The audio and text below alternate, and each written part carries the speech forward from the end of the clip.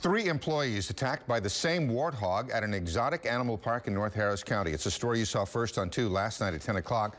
Tonight, we're digging more into that park's history. Channel 2 investigator Joel Eisenbaum discovered several previous incidents and lawsuits. He's joining us live tonight in spring to reveal what he's uncovered about this. Joel?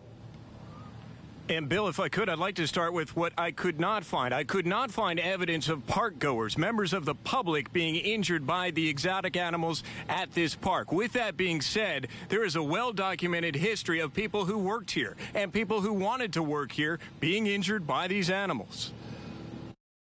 Still recovering from last Friday's warthog attack.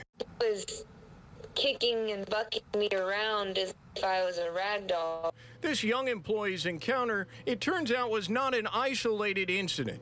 Channel 2 Investigates has found two lawsuits dating back to animal attacks as early as 2009 at TGR Exotics Wildlife Park, a place open to the public. They were having, you know, young, inexperienced, untrained kids, basically, acting as zookeepers.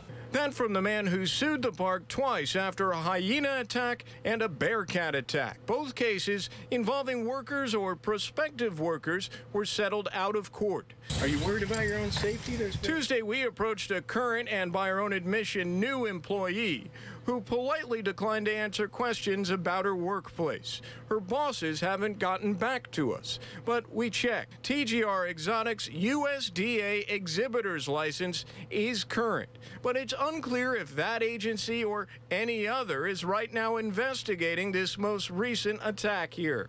I ended up concluding that there was a lack of reg- regulation going on out there. Keep in mind, there are at least two sides to every story, and for the better part of two days, we've been trying to get the owners of this animal park to talk to us, so far without success. We're live in spring tonight. I'm Joel Eisenbaum, KPRC Channel 2 News.